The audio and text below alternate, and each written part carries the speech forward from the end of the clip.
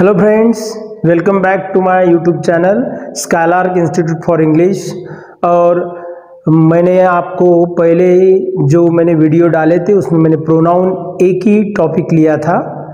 तो उसी टॉपिक को अभी आगे अपने को कंटिन्यू करना है। तो आज प्रोनाउन में इंट्रागेटिव प्रोनाउन लेना है, क्योंकि मुझे आपको हाउ टू फ्रेम क्वेश्चन आपको मालूम है, अगर आपको इंग्लिश में बात करनी है, इंग्लिश में बोलना है, इंग्लिश में लिखना है, इंग्लिश को समझना है तो आपको हर टाइप के क्वेश्चन आने चाहिए और questioning is a very nice skill अगर आप किसी को सही ढंग से क्वेश्चन पूछने के काबिल हो तो लोग बोलेंगे कि भाई, ये आदमी की जो पढ़ाई है या जो समझ है, वो अच्छी है, लेकिन आपको प्रेजेंट टेंस में, पास्ट टेंस में, फ्यूचर टेंस में, हर एक जगह, हर एक माहौल में उसी हिसाब से आपको सवाल पूछते आना चाहिए। सवाल पूछना इतना आसान नहीं है। और अगर आप क्वेश्चनिंग करते हो तो आप में वो भी कैपेबिलिटी चाहिए कि मुझे उसका आंसर भी पता होना चाहिए। तो अगर आपको ग्रामर में इंग्लिश ग्रामर में परफेक्ट क्वेश्चन पूछना है तो आपको थोड़ी प्रैक्टिस करनी पड़ेगी। अभी क्वेश्चन फॉर्मेशन के लिए क्या टेक्निक है और ग्रामर में आपको क्या क्या करना है, इस सब बातों को लेके ये वीडियो बनने वाला है। ये थोड़ा लेंथी बनेगा, लेकिन it is very useful so इसको आप ओपनिंग से लेके तो लास्ट तक सही ढंग से अगर आप देखोगे तो आपकी क्वेश्चनिंग की स्किल सही ढंग से डेवलप हो जाएगी। और इसीलिए आपको मेरी रिक्वेस्ट है कि इस चैनल को सब्सक्राइब करो। और अगर आपको ये अच्छा लगता है तो इसे लाइक करो शेयर करो। तो now without wasting your valuable time I am going to start how to frame question and what is interrogative pronoun. So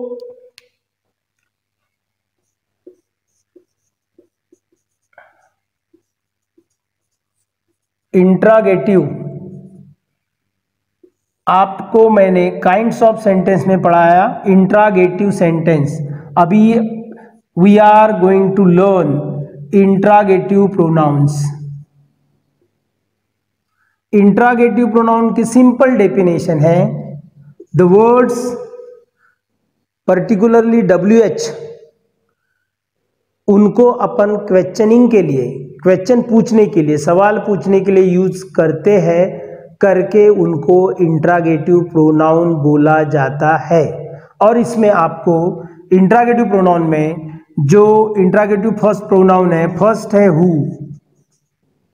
जिसे आप कोई भी सब्जेक्ट या जो जिसे अपन डूअर बोलते उसे पाने के लिए आपको हु को यूज़ करना है। फॉर एग्ज़ाम्पल अगर मैं बोलता हूँ हु आर यू आप कौन हो? हु इज़ सिंगिंग यहाँ पर कौन गा रहा है? आप directly you can take who at the beginning for example अगर मैं यहाँ पर लिख रहा हूँ, Geeta was cheating her mom Geeta उसके मॉम को फंसा रही थी। तो मुझे गीता को हटाना है और सीधा सीधा मुझे यहाँ पर who was cheating her mom question पूछना है तो इसका आंसर मुझे मिल जाएगा। Who was cheating her mom तो आंसर मुझे मिल गया। Geeta was cheating her mom तो who is very simple interrogative pronoun we can use who just to know who is doer now second if you want to know object और वो living being है।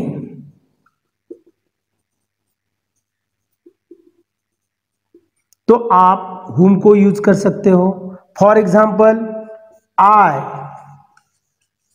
wrote a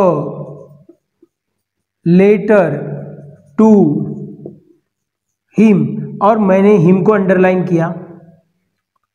अब और आपको सवाल पूछा गया कि भाई हुम का इस्तेमाल करो कि मैंने किसे लेटर लिखा? तो यहाँ पर आपको क्या करना है?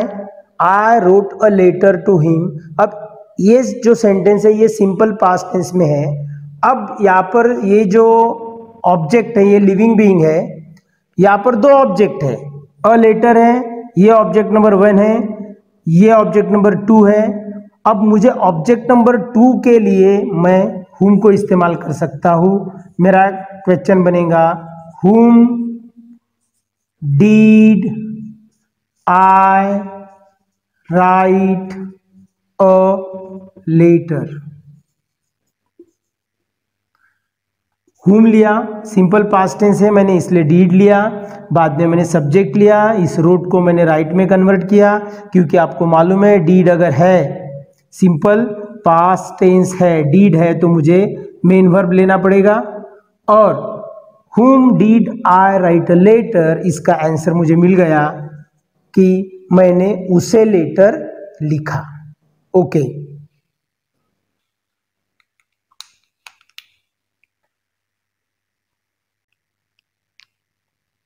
तो अपना जो सेंटेंस था आई रोट अ लेटर ये जो सेंटेंस है I wrote a letter to him अब इसे थोड़ा अपन बढ़ा देंगे। I wrote a letter to him last year to know his condition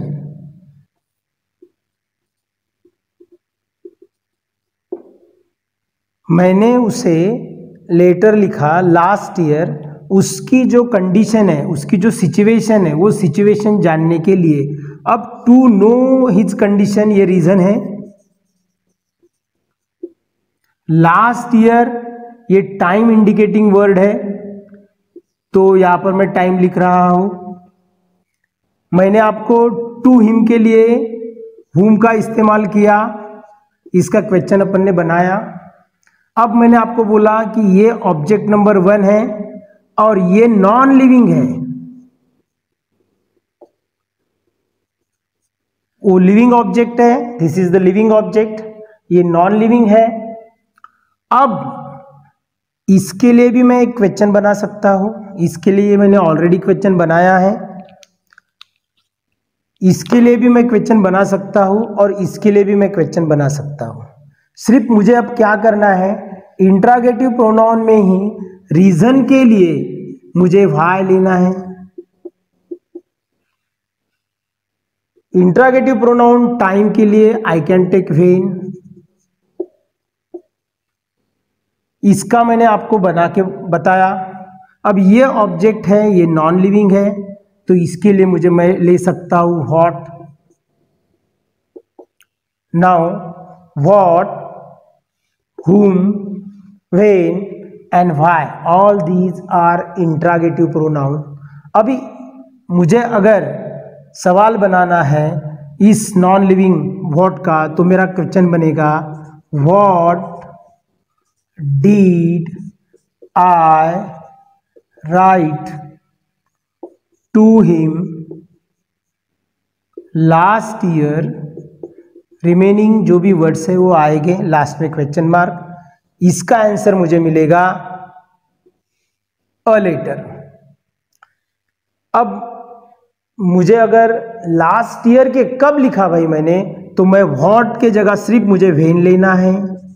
When did I write a letter to him last year तो आंसर आएगा तो वो नहीं आएगा। टू नो ये सब आएगा। लास्ट में क्वेश्चन मार्क इसका आंसर मुझे मिलेगा। मैंने कब लिखा? आंसर मिलेगा मुझे last year this is grammatically correct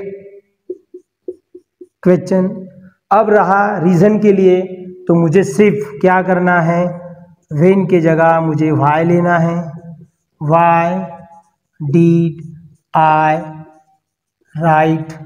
पूरा सेंटेंस एज इट इज़ लेकिन whenever you frame a question you cannot write that underline word जिस वर्ड को अंडरलाइन किया है, उस वर्ड को आपको क्वेश्चन में नहीं लेना है। और in this way now see here we have used whom when what why और पहले इसमें मैंने आपको बताया है हाउ टू यूज़ हु। अब रह गए हैं how whose which and where. These are also interrogative pronoun how is use to indicate action कोई चीज़ कैसे हो रही है, कैसी है? हाउ आर यू अपन पूछते हैं कि आप कैसे हो? How are you working there तुम वहाँ पर कैसे काम कर रहे हो? Whose whose work is good किसका काम अच्छा है? Which house have you selected किसका घर आपने सिलेक्ट किया है? वेयर डू यू लिव आप कहाँ रहते हो? Where did you get that आपको कहाँ मिला? तो ये where indicate place which is use to know the choice आपको दो, तीन चीज़ों में से कुछ तो भी सिलेक्ट करना है। हुज ये पोजेशन इंडिकेट करता है। और हाउ कोई भी जो एक्शन है, वो एक्शन की कौनते सिचुएशन में है, कोई इंसान कैसे पढ़ा रहा है, वो कैसे, कैसा है इसके लिए अपन हाउ का इस्तेमाल करते हैं। So these are all interrogative pronouns which are use to raise question लेकिन question formation is not too much easy unless and until you know the grammar perfectly क्योंकि आपको यहाँ पर डू कब लेना है डच कब लेना है डीट कब लेना है और क्वेश्चन की सीक्वेंस क्या है? पहले आपको इंट्रागेटिव प्रोनाउन लेना है इंट्रागेटिव प्रोनाउन के बाद आपको टू बी लेना है। एज पर द टेंस बाद में आपको सब्जेक्ट लेना है, बाद में वर्ब लेना है, बाद में ऑब्जेक्ट लेना है लास्ट में क्वेश्चन मार्क देना है। So if you practice well you can be very comfortable in framing question but practice makes man perfect you have to practice lot I hope that you like it. Thanks for watching.